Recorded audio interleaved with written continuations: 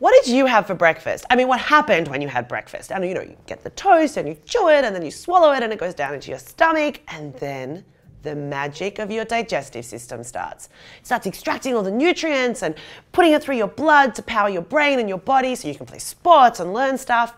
And this, my friend, is the basics of how all of the planet works.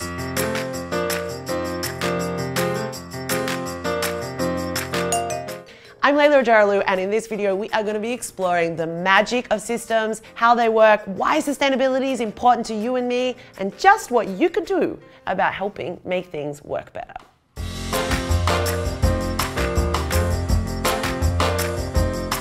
All natural systems are designed to add value over time.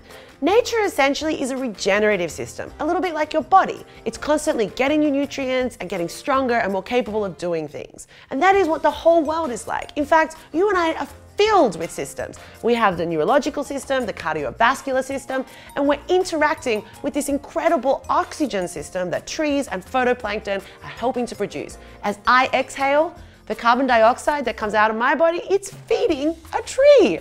And that is how the world is completely interconnected. Everything around us requires something else to survive.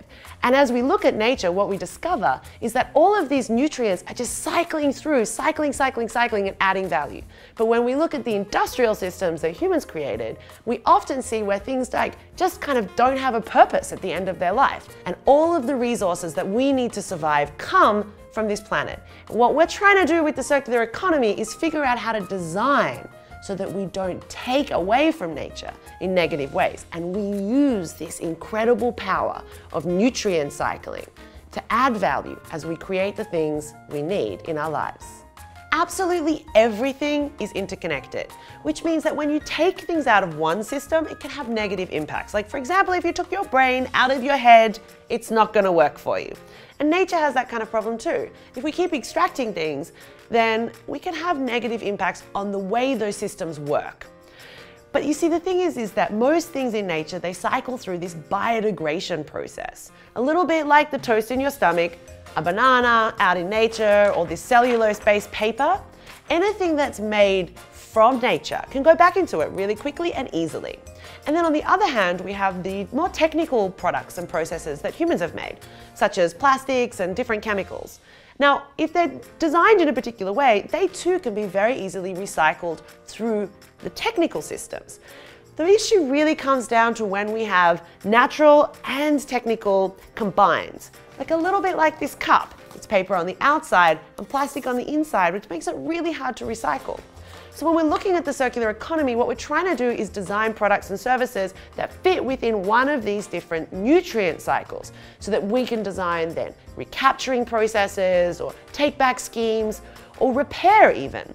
These are all the kinds of things we can integrate into our everyday lives that help make sustainability happen. And what is this sustainability thing I'm talking about? Well, essentially, it's making sure that we don't make decisions today that have negative impacts for the future. It's so that you and I can have the kind of future that we want to live in. And that requires all of us, individuals, businesses, governments, in fact, our entire human species. We need to care about these systems because we are part of them. And it's really important for us to make sure that when we make the things that we need, we don't also destroy the bigger thing that we need, which is the planet. So one way to understand what kind of impact you have on the planet is through this thing called an ecological footprint. Essentially, every single one of us has this kind of like imprint that we make on the planet based on the choices we make, how we eat, how we get ourselves around, the things we wear. And so you can actually go online and do your ecological footprint. I almost guarantee you that you will be extremely surprised by how many planets it's required to make you live.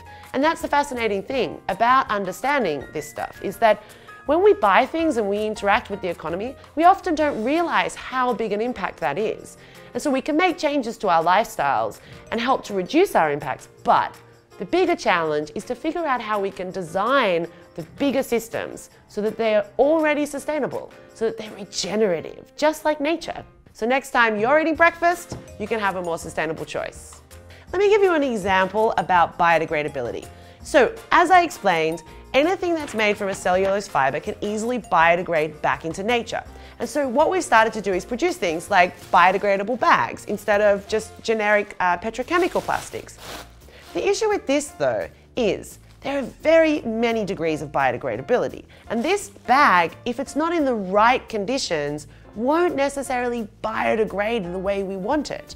So essentially there aren't any really simple solutions to complex problems. In fact, that's really what we need to be looking at, is embracing the complexity of all of the systems that play around us so that we can design things that truly are sustainable. So we're not just making more disposable stuff, but instead we're making things that fit within a beautiful circular system. So sustainability is really about meeting the needs of our generation without negatively impacting the ability of future generations to meet their needs. It's a little bit like making sure that your parents don't make things bad for your future.